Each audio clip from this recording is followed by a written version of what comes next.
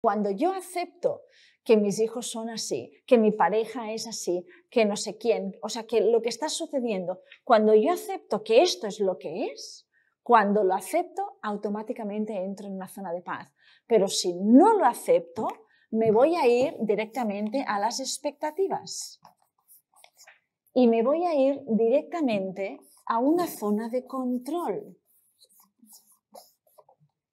Tendríamos que llegar más tarde o más temprano a la zona de control.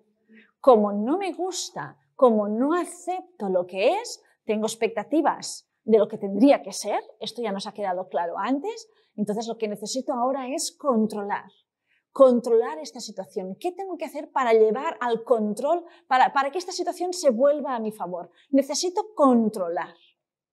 ¿Cómo llevamos el tema del control? Ahora que no nos ve nadie.